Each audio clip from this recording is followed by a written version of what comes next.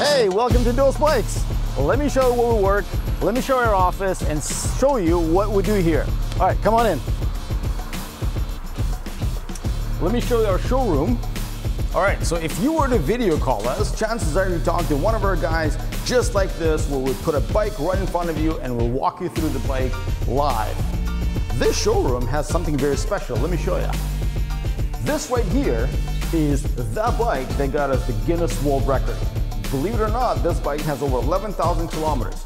We purposefully didn't wash it just to show off how awesome this bike is. Let me show you something else. Sorry, Henry. Okay, this is our service department. And right here, we got our master bike mechanic, Steve. So chances are, if you need your bike fixed, you'll be speaking with Steve or somebody who works with him. Down here, we've got a rental fleet. We've got bikes that come in for service, customers bringing them in. We also use this room to do some video shoots. As a matter of fact, I think we got a video to shoot, right? Here we go. All right, Sam, let's uh, get you ready for this. Okay, and here we go. And scene one. Hey everyone, Sam here.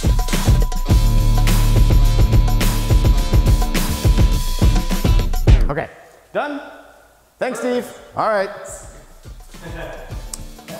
Next place I want to show you is our warehouse, where your bikes are getting built, where your bikes are getting shipped from.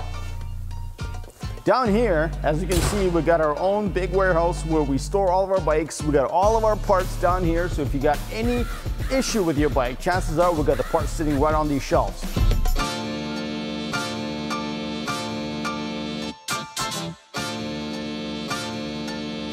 And if we're not downstairs in the warehouse fixing your bikes or shipping your bikes, chances are we're down here, we're answering your phone calls, we're answering your emails.